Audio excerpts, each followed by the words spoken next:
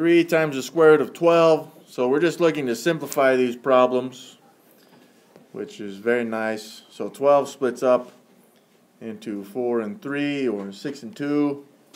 Uh, but I did 4 and 3 just because I, well, I can. So this ends up being 3 times the square root of 2 times 2 times 3.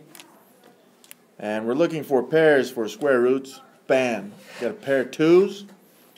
So this ends up being 3 times 2 times the square root of 3 because this 3 right it doesn't have anything to pair with, so it stays inside the square root.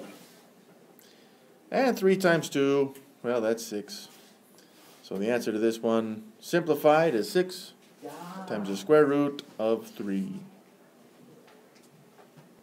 So this 3 became that 3 in the square root, because it was still in the square root, but since it wasn't paired with anything or anything multiplied by itself, uh, the square root of it is just the square root of that, square root of 3.